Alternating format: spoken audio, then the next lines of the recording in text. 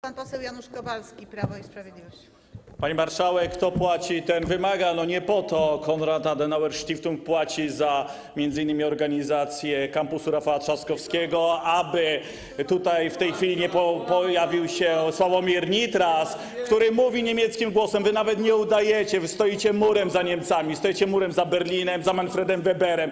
Nie potraficie powiedzieć tak dla referendum. Jesteście po prostu totalnie przewidywalni. Czy widzieliście kiedyś polityka Platformy Obywatelskiej, który skrytykował Niemców, którzy blokują Polsce miliardy z KPO? Nie. 40 rezolucji przeciwko Polsce.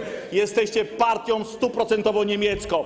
W najnowszym e, podręczniku HIT przejdziecie do historii jako partia niemiecka, Platforma Obywatelska. I my wygramy wybory. Polacy to widzą. I z czego ty się śmiejesz, Nitras? Ten niemiecki uśmieszek. Przegracie wybory. Ten niemiecki uśmieszek pogardy dla polskości i dla Polski.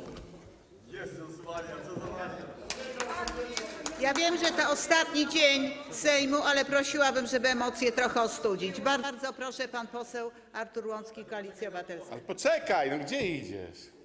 Siądź. Powiedz mi, dlaczego uchwała tylko? Dlaczego tylko uchwała? Dlaczego nie wezwaliście ambasadora niemieckiego do Polski? Dlaczego nie odwołaliście polskiego ambasadora z Berlina? No tak się działa. I mało tego, ani jeden raz nie jest wymieniony w tej uchwale Tusk. To już jest sabotaż. To jest sabotaż. Prezes was za to rozliczy. To, że ośmieszacie siebie, to wy się ośmieszajcie. Wy się ośmieszacie od, od 8 lat. Ale że wy ośmieszacie Polek, Polki i Polaków, ośmieszacie polski Sejm, to jest niedozwolone, to jest sabotaż. To jest sabotaż, panie Kowalski.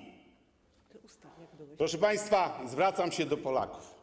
Nie mamy wrogów wśród naszych sojuszników. Nie mamy wrogów wśród krajów, które stworzyły najlepszy projekt polityczny, jak do tej pory Unia Europejska czy NATO. Ale mamy wrogów na wschodzie.